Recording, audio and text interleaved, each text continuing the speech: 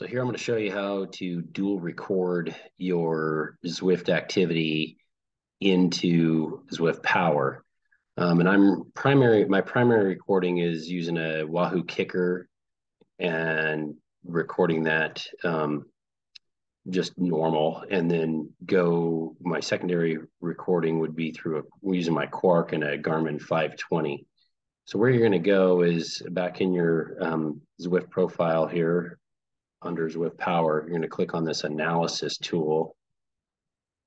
And then over here on the right side, you have this create new data set. And we're going to pull an event from a couple days ago that I did. I just haven't haven't pulled it up. Um, and I think it is, I think it's this event. There's a lot of redundancy built in the top here. So this next one, I should be able to do it. It was it was on the fourth. So 11 for here. It's this IRC or ICR racing uh, on Makuri Island. So I'm going to pick that. Um, so I'm going to grab that event. That will update this up here if you if you end up making a mistake. And then under choose your power source, the first time you're going to have to you do this, you're going to have to enter this in. So just type in whatever your power source is. So it'll, it'll save it. So I'm using a Wahoo KICKR version 5. And then um, we're gonna, there's a little bit of redundancy, like I said here. So we're gonna, we're gonna select the event again. So I'm picking that ride on the 4th. And then for, so that's all of my primary recording using the Wahoo KICKR 5. And then my backup here would be using my Quarq. So I'm going to I've, I've plugged in my Garmin 520 into the computer using the USB cable. I make sure that I use the Garmin cable because the other ones have problems. So we're going to choose file here. We're going to navigate to that. So just navigate to your Garmin and then under the under Garmin, under activities is where those are stored. And then the newest stuff's always at the bottom. So here's the ride from 11.4. So we're going to go grab that guy. And then the power source, again, the first time you're going to have to enter this in. So that's going to be my Quarq and 520. So I can just pull that from a drop down list here of where I've entered it. I'd be as clear as possible. Um, and then, I mean, if you had a third or fourth source or whatever, you could you could add those as well. And then I'm going to make change of visibility here from private to public so that others can see it. And then we're going to go create data set.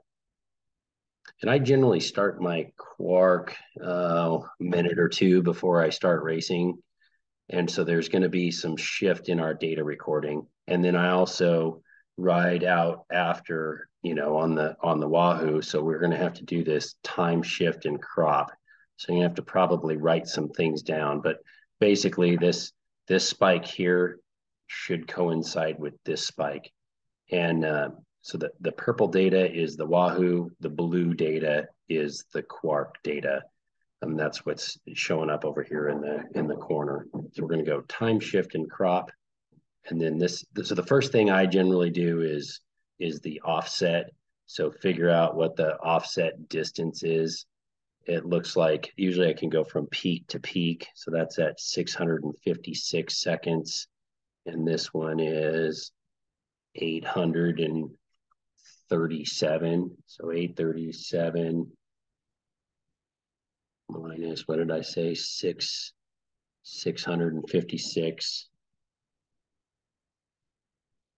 gives us 181 seconds. So we're gonna we're gonna offset the Quarq by 181 seconds. So that gets our data to align quite quite good. And then the other thing we're going to do now is we want to get rid of, so we need to change the, the Quarq here in terms of the start time.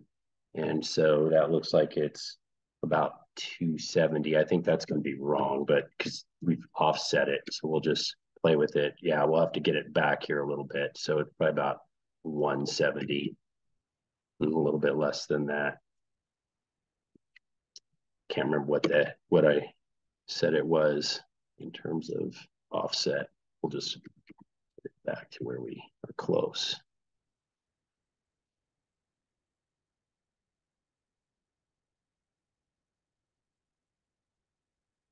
We're getting, we're sneaking up on it here essentially.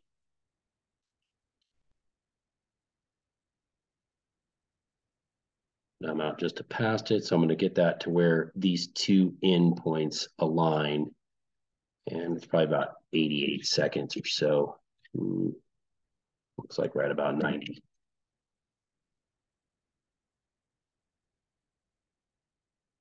Doesn't much, much matter, kind of splitting hairs.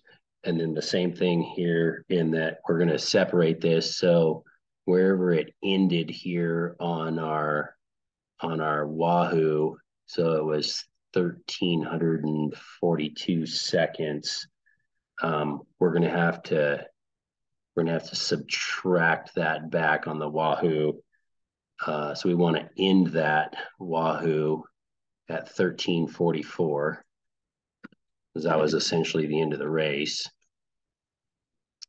So that ends the Wahoo over here. And then the Quarq, uh, the Quarq was we we just carried it very close to the end there. So Quarq was running at just about the same amount of watts. So I'm I'm pretty happy with that. There's there's usually the my Quarq usually lags a little bit behind um, the watts, especially when I stop pedaling. So this ride I had a, the power actually went out, and so the ride is essentially just it went away as the power reset. So I had a significant power drop, which I think is about right here. Um, anyway, so then we're going to go save. So we got the data to look pretty darn good. We're going to hit save. And then you can compare and contrast. Usually my Quarq runs a little bit higher watts. And I think that's mainly due to just drivetrain. And then for heart rate, I'm just I'm just single recording with my uh with Wahoo. So then you, once you've once you've created that, you're good to go, and you can just go back to your Zwift profile. And then that ride will be uploaded into your analysis, and it will generally show up here, um, something like that. So we can click back on that guy. Oh, this is a previous ride or a ride I did today earlier. So yeah, that's how it's done. Hopefully that helps.